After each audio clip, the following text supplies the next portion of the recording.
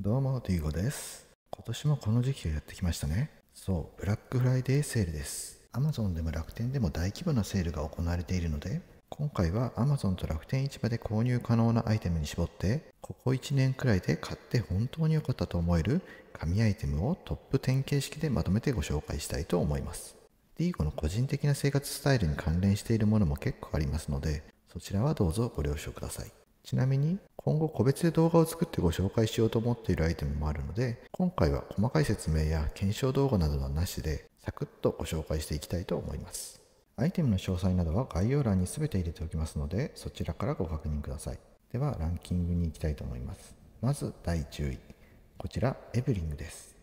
実はこれただの指輪かと思いきやビザタッチ決済ができるスマートリングなんです。しかも充電もいらないし防水なので手を洗う時にわざわざ外す必要もありません。まだ先月買ったばかりなので使い勝手などのレビューも含めて改めて動画にしようとは思っていますがこのエブリング意外と知らない人が多いので実際にお店とかで使うと結構驚かれますしちょっとした話のネタにもなります。ディーゴは10月の Amazon セールの時に安く購入できましたがやはり今回のブラックフライデーセールでもしっかり安くなっています。リングのサイズを測るキットもネットで購入できますがディーゴは購入前に実物を置いている店舗に行って実際にはめてみてから購入しました。アクティベートする際に紹介コードを入れるとお互いにポイントをもらえるというキャンペーンもやっているのでもし周りにエブリングを使っている方がいなければぜひこちらをご活用ください。概要欄の方にも入れておきます。シンプルでスマートな見た目ですし最近カラーバリエーションも増えてアクセサリーとしても十分使えるので個人的には結構気に入っているんですけどまだ買ったばかりで全然使い倒せてはいないのでとりあえず注意にしておきました。続いて第9位。日常使いに便利なワインセラーです。ディーゴは現在ワインセラーを4台所有しているのでおすすめワインセラーの動画なんかもそのうち作ろうとは思っていますが今回は熟成用とかではなく日常用に便利なこちらのワインセラーをご紹介します。これ何が便利って斜め置きができるんですよね。開けて飲みきらなかったワインでもアンチオックスとかで蓋をしてそのままセラーで保管ができるんです。普段使い用としてはこれが一番のポイントになります。ワインセラーを初めて購入するときに迷いがちなペルチェ式かコンプレッサー式か問題ですが日常的にドアを開け閉めするのであれば温度変化の対応や電気代なども含めてコンプレッサー式が絶対におすすめです。そしてワインセラーを買うとワイン愛がぐんと高まって一瞬でワインセラーが埋まってしまいがちなのとワインボトルのタイプによってはフルの本数が入らなかったりするので買おうと思っているものよりもう一回り大きいものを買うのがおすすめです。こちらは最大18本入って初めてセラーを購入する方にもおすすめのワインセラーです。第8位は先日ご紹介したグレゴリーのコンパス40です。こちらの超おすすめポイントは動画にまとめてあるのでそちらをぜひご覧ください。コンパス40は旅行用とかの大きなバッグになるので D ゴが日常で使っているもので超軽量で超スリムだけど拡張もできて荷物をたくさん入れることも可能なおすすめバックパックもついでに概要欄の方に入れておきます。第7位は煩わしい充電問題を解決してくれる充電ガジェットたちなんですがこちらも以前紙充電ガジェットトップ5という動画を作っているのでぜひそちらをご覧ください。追加のおすすめ充電ガジェットとして最近購入した大容量なのにコンパクトでしかも PD 充電まで可能なアンカーのモバイルバッテリーの情報も合わせて概要欄に入れておきます。第6位はこれのおかげで本当にぐっすり眠れるようになったウェイトブランケットです。メラトニンも普段使ったりしているんですが個人的にはこちらのブランケットの方が断然睡眠の質が良くなりました。なんていうか安心感や包容力みたいなものがすごいんです。ディーゴは使い始めてすぐに慣れましたが最初の数日は逆にだるくなったり体が痛くなったりする場合もあるようなので慣れるまでに1週間ぐらいは想定しておいた方がいいかもしれません。ちなみにディーゴは 6.8kg のものを使っていますが重さの目安としては自分の体重の10から15%ぐらいがいいと言われています。ディーゴは普段使っているおすすめのメラトニンについても一応概要欄の方に入れておきます。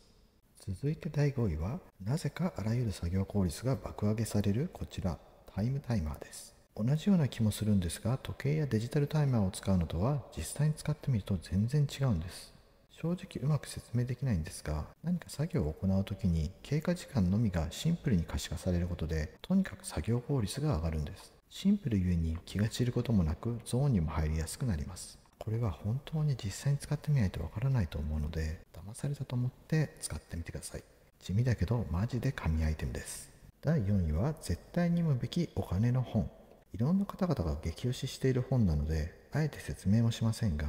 Just Keep Buying サイコロ十分マネーそして第 with Zero まずこの3冊はまだ読んでいなければすぐにでも読むべき本だと思います。ディーゴもそうでしたがお金に対する考え方がガラッと変わる方も多いと思います。この3冊を読み終わってきちんとお金と向き合わなければと感じた方はさらに読むならマネーセンスとメンタリスト DAIGO さんのマネースクリプトがおすすめです。いよいよ第3位ですがこちらは毎日ヒートをやっているディーゴにとっては目から鱗だった神アイテムです。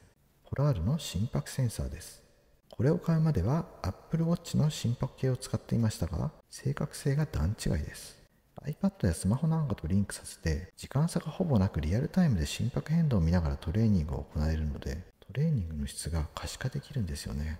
何でもないことのように思いますが実際にトレーニングの質も意欲も爆上がりしました。これも結構地味なんですがマジで神アイテムです。そして第2位は毎日の食事の質を爆上げしてくれたのの字のピーラーとテスコムの新温スマートクッカーです。のの字のキャベピーマックスについては以前動画にしているのでそちらをご覧になってもらえればと思いますがとにかく日々の野菜の摂取量が激増しました。このテスコムの新温調理器についてもそのうち動画にしたいと思っていますがマシン自体も非常にスリムでコンパクトな設計ですが今までの低温調理器と違って水を一切使わないという画期的なもので場所も手間も取らせません。食材の中心温度を測りながら調理してくれるので中まで火が通っているかの心配も不要ですし低温調理で老化の原因になるエイジスの生成を抑え肉や魚なんかを柔らかくジューシーに仕上げてくれます。スーパーの安いお肉でもめっちゃ美味しくなります。こののの字のピーラーと新温調理器のおかげで毎日の食事の質が劇的に上がりました。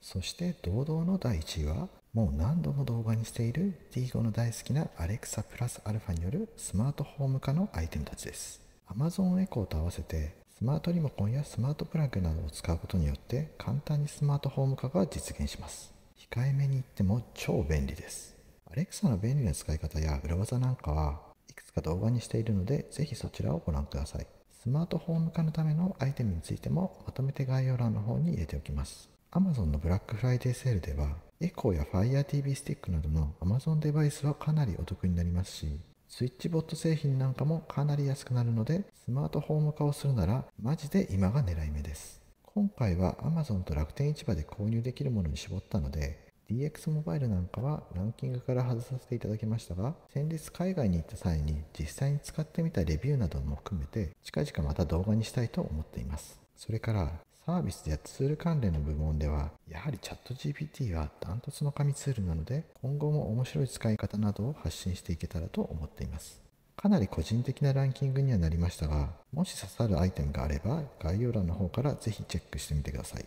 今回はかなりざっくりしたご紹介になりましたが、個別でしっかり動画にしようと思っているアイテムも入っていますので、興味がありましたらチャンネル登録や高評価、コメント等いただけると嬉しいです。それと最近密かに X と楽天ルームのアカウントも作成しました。YouTube の方では紹介しきれないアイテムもそちらで随時ご紹介していきますのでよろしければ概要欄の方からチェックしてみてください。ご視聴ありがとうございました。